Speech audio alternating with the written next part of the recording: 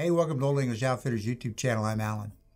So today we are taking a look at Springfield's St. Victor in 308 caliber.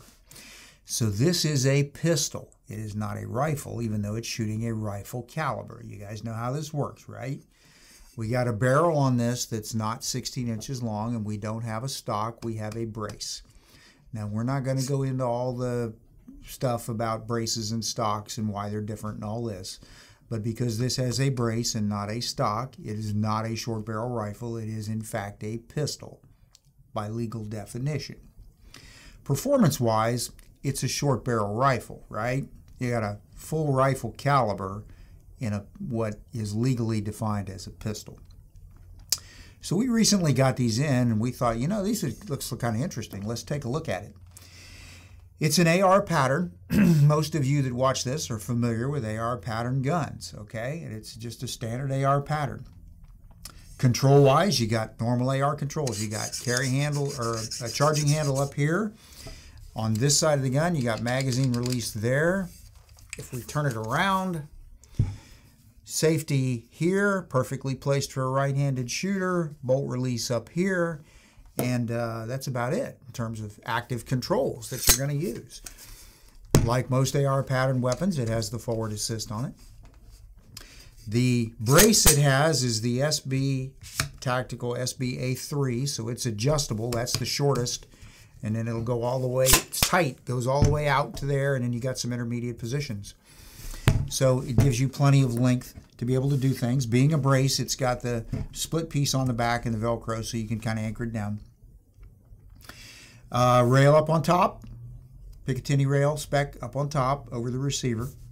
And it extends over, the, the Picatinny rail comes out just a little further than just the base receiver, comes out onto the front of the handguard here. And you got a short Picatinny rail section up front if you want to put an iron sight up there. Barrel is completely free floated. This forend is an M-LOK compatible forend, so any M-LOK uh, accessory will go on there. We got a short hand stop right there so you don't get up here too close to the muzzle. The muzzle itself does not have a flash hider. It has a blast diverter, and it's a very effective blast diverter. The barrel is 10.3 inches. Now, most of you, if you're familiar with 308, metric designation 7.62 by 51, you know that cartridge was originally designed to work in 20, 22 inch barrel rifles, that sort of range. So this is pretty short for that cartridge. But we'll talk a little more about that in just a minute. Feature wise, it also has a Bravo Company pistol grip, a gunfighter grip, so you got a compartment at the bottom. You can put batteries or something in there if you're running sort of some sort of optic.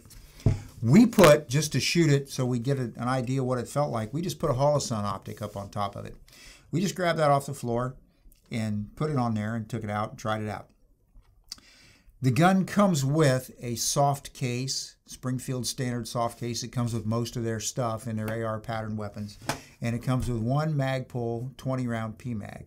So Magpul PMAGs are fully compatible with this platform and they work really well, just like as you're familiar with Magpul stuff, goes right in.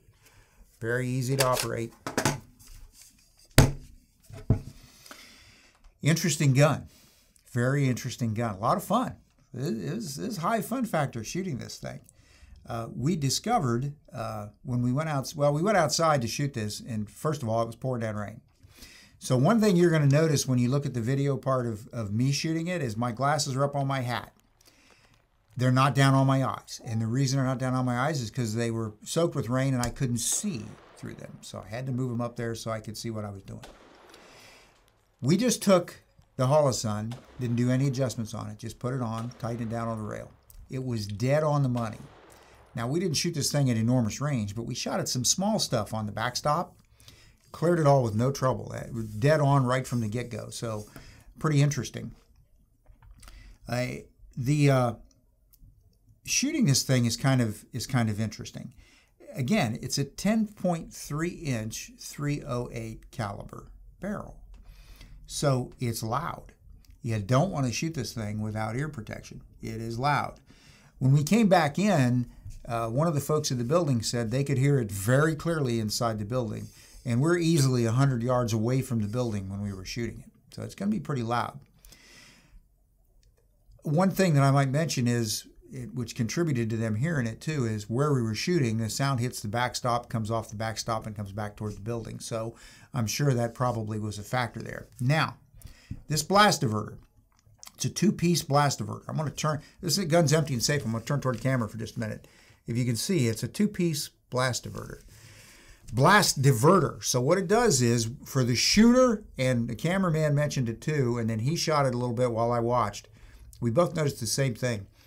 If you stand close, you can feel a little concussion off the round, but the diverter is designed to do exactly what its name says. It diverts, it pushes the, the report forward away from the gun. The diverter on this does something else. Because this thing is so short and it's a direct gas impingement AR, it's not piston driven. So because it's so short, all this is calibrated, the gas port hole, the diverter, all it's calibrated to make sure the gun runs reliably. We put about 40 rounds through it, not a huge amount, but we didn't have any trouble. Just military spec ball ammo. Didn't have any trouble with it. Worked just fine.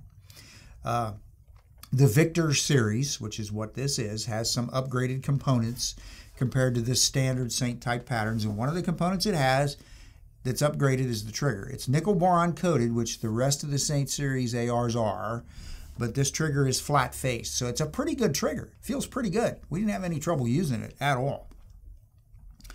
Uh,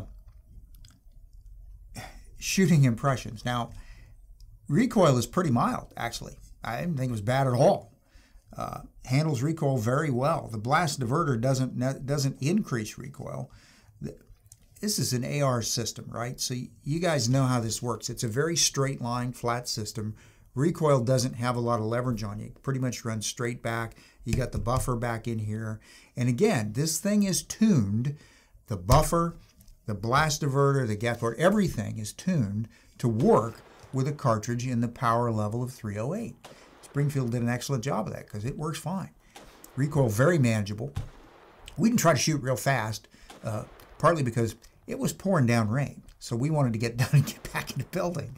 But it actually shoots very comfortably. I wouldn't be afraid to, especially with uh, uh, getting a good grip on, I wouldn't be afraid to shoot it fast if you had to. We're not going to take it apart. It's an AR. It's an AR like any other AR out there, and there's tons of videos and explanations on how to take ARs apart. As I mentioned, it's a direct gas impingement AR, so it comes apart with exactly the same types of components that any other AR in another caliber comes apart. The big thing about this thing is just the fact of that caliber that's cham chambered in. You know, most everybody puts these things in. Some folks put them in 9 millimeter, 5.56 are very common. 308 is a little unusual in something like this. Do you lose performance out of it? Well, yes and no.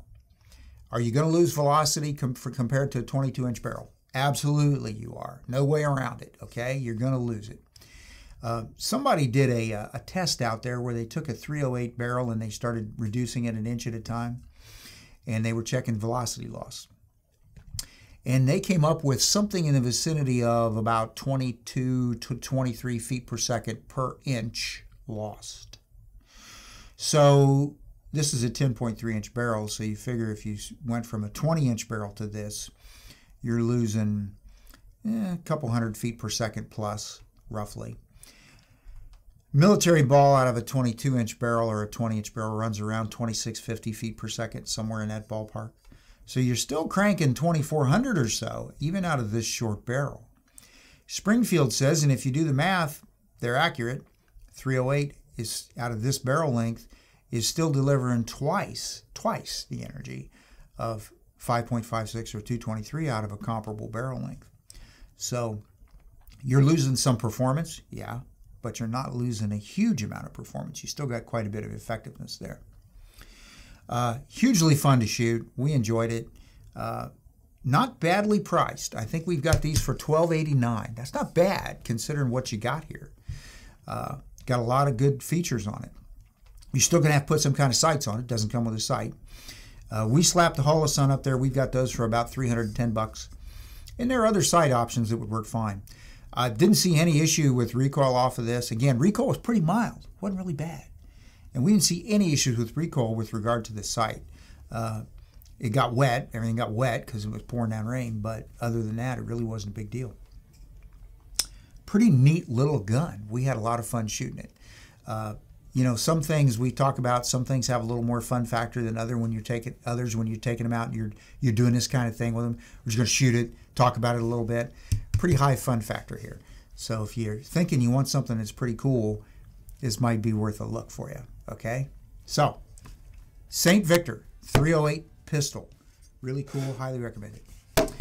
So that's all we've got for right now on this particular review. So pay us a visit we're uh, we're not operating by appointment anymore. You can just come to the door. We're limiting people in the store numbers, so you might have to wait a minute or two. But it's been pretty flowing pretty smoothly actually. So come pay us a visit. Uh, check us out Facebook, Twitter. Uh, always check our website out. And uh, until next time, I'm Allen for Olde English Outfitters. Thanks for watching.